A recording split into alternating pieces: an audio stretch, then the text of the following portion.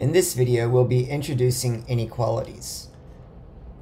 First, we have the greater than symbol, and then the greater than or equal to symbol, less than, and less than or equal to. One of the types of notations that we'll be looking at is called set builder.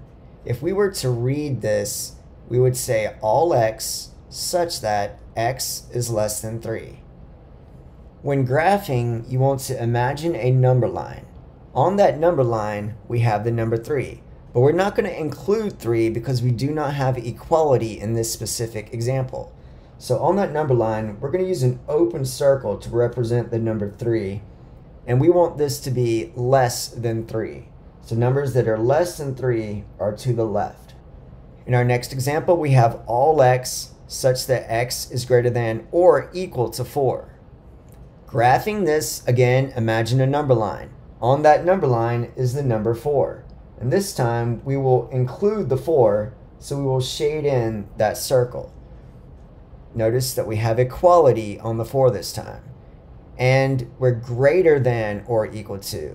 So to be greater than, we're going to be shading to the right of the 4.